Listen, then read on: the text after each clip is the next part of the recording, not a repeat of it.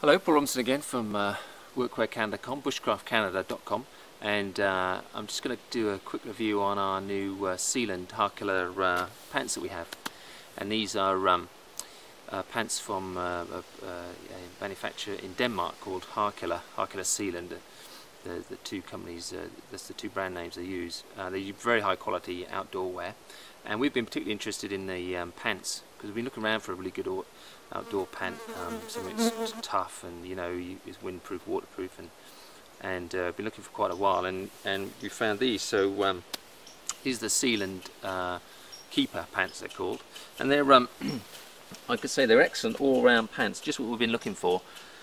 They're uh, mainly the nylon here and then they have the Cordura nylon on all the fronts, uh, the sides here and the back uh, and the pockets. And of course that Cordura is um, 10 times stronger than uh, duck cotton. So it's a super durable, you know, high abrasion resistance uh, material. So you're not going to really snag it on thorns and you know that kind of thing. It's uh, you know really strong. Um, there's plenty of it as well, it runs all down the front. And then you've got a couple of flaps here on the front that you can just kind of velcro up. And that means that if you've got boots and it's raining hard you can just snag them around your boots and tie it up around the back. And you're not going to get a lot of water run down into your boots. So that's quite a nice feature. Cordura all around the bottom as well because again you tend to get a lot of wear around the boot region. Two cargo pockets again, Cordura, nice big heavy snaps on them. Uh, you know the top pockets, nice heavy you know quality belt loops as well. Cargo pocket on the back and then you've got two zip pockets on the back as well.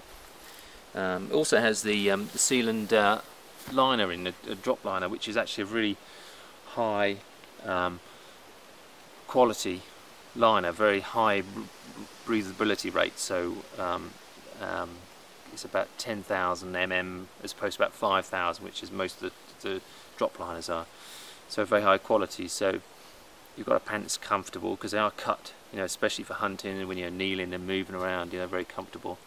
Um, very hard wearing, windproof and waterproof. So I mean they pretty much cover cover the, uh, the whole range of uh, um, requirements for an outdoor pant. So been really pleased with them. They're really well made and nicely stitched. No loose stitching or you know loose uh, threads or anything like that. Bar tacked at the areas that need to be and um, they're just a really good pant really. So uh, yeah. So if you need any more information about these.